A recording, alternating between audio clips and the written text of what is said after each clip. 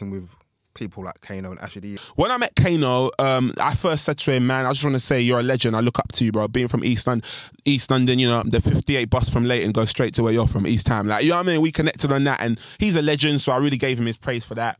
Working with Ashley Walters was really good. You know, Asher D is like um he's like a real sort of an institution, in my opinion, of British, of black British art. Consider this fact, right? You can go up to a 17 year old in 2022 that has an opinion on Ashley Walters that is likely to be positive, and you could have gone up to a 17 year old in 2003 Crazy.